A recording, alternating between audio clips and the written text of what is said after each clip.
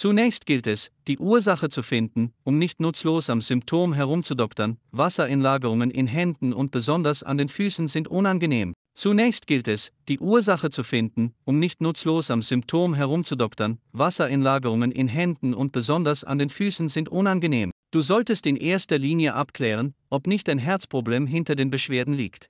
Kann dein Arzt nichts feststellen, so probiere unsere einwöchige Kur aus, um das Wasser aus deinem Körper zu treiben. Ursachen für Wassereinlagerungen zunächst gilt es, die Ursache zu finden, um nicht nutzlos am Symptom herum. Kann dein Arzt nicht, sind deine Beine und Füße geschwollen, dann liegt das meist daran, dass du lange gestanden hast und die Venenpumpe nicht richtig funktioniert hat, das ist normal. Versuche, während du stehst, auf und ab zu wippen, um die Venenpumpe in Gang zu halten. Auch große Hitze führt zu Wassereinlagerungen, da sich die Gefäße weiten und somit mehr Wasser einströmen kann. Eine weitere Ursache könnte ein gestörter Abfluss der Gewebeflüssigkeit, Lymphe, sein, wenn du etwa zu enge Strümpfe. Auch große Hitze, auch eine Thrombose könnte dahinter stecken und diese ist lebensgefährlich und gehört in die Hände eines Arztes. Herz, Leber und Nierenerkrankungen sowie Allergien und Schilddrüsenfunktionsstörungen können ebenfalls Wassereinlagerungen auch eine Thrombose könnte dahinter stecken und diese ist lebensgefährlich und gehört in die Hände eines Arztes. Herz, Leber und Nierenerkrankungen sowie Allergien und Schilddrüsenfunktionsstörungen können ebenfalls Wassereinlagerungen. Auch eine Thrombose könnte dahinter stecken. Um generell Wassereinlagerungen zu verhindern, solltest du auf alle Lebensmittel verzichten, die Wasseransammlungen im Körper fördern. Dazu gehört nicht nur Salz, sondern auch Zucker. Kalium Deine Ernährung sollte besonders viel Obst und Gemüse mit Kalium enthalten. Kalium brauchst du nicht nur, um deinen körpereigenen Wasserhaushalt zu regulieren, sondern auch für eine Richtung. Dazu gehört nicht nur Salz, sondern B.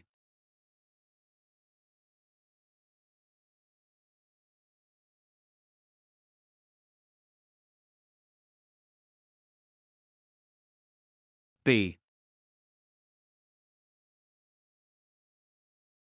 Insulin und ist wichtig für die Kohlenhydratverwertung und Eiweißsynthese.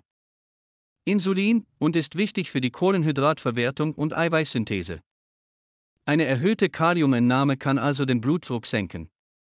Beeindruckend oder viel trinken. Viel trinken fördert einen guten Stoffwechsel und dieser wiederum sorgt dafür, dass der Körper ein ausgeglichenes Flüssigkeitsverhältnis hat.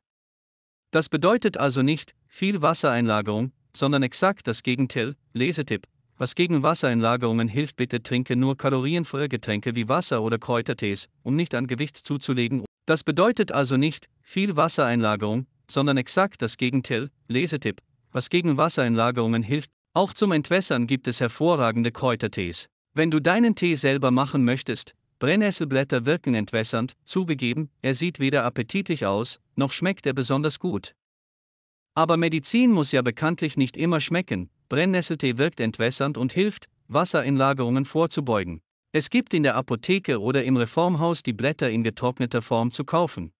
Da die Brennnessel aber fast überall wächst, kann man sie auch selber ernten und über Kopf hängen zu Hause trocknen. Je stärker der Tee, desto intensiver die Wirkung.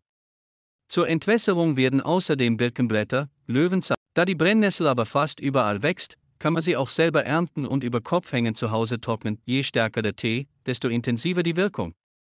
Zur Entwässerung werden die Flüssigkeitsmenge sollte mindestens 500 ml betragen, gerne mehr. Die einwöchige Kur Mittagessen Reis und Kartoffeln sowie Quinoa und Hirse wirken durch den hohen. Kombiniere Reis oder Kartoffeln mit Gemüse und Gewürzen, die den Stoffwechsel anregen und so ebenfalls entwässernd wirken können.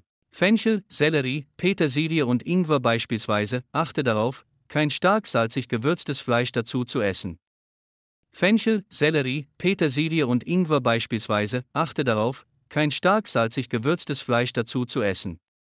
Wurst sollte tabu sein, denn sie enthält viel Salz.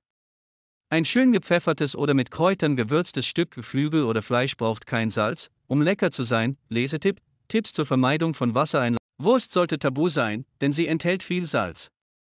Ein schön gepfeffertes oder mit Kräutern gewürzt. Wichtig ist, weder Smoothie noch Kräutertee mit Zucker zu süßen. Die einwöchige Kur, Abendessen ein frischer Salat mit entwässernden Zutaten hilft, auch abends den Wasserhaushalt auf Trab zu halten. Frische Salatgurke. Wichtig ist, weder Smoothie noch Kräutertee mit Zucker zu süßen. Die einwöchige Kur, Abendessen ein frischer Salat mit entwässernden Zutaten hilft, auch abends den Wasserhaushalt auf Trab zu halten. Frische Salatgurke. Wichtig ist, weder Smoothie noch Kräutertee mit Zucker zu süßen. Die einwöchige Kur, Abendessen ein frischer Salat mit entwässernden Zutaten hilft, auch abends den Wasserhaushalt auf Trab zu halten, frische Salatgurke. Wichtig ist, weder Smoothie noch Kräutertee mit Zucker zu süßen, die einwöchige Kur, Abendessen ein frischer Salat, Räucherfisch oder Räucherfleisch, Schinken etc., da diese auch viel Salz enthalten.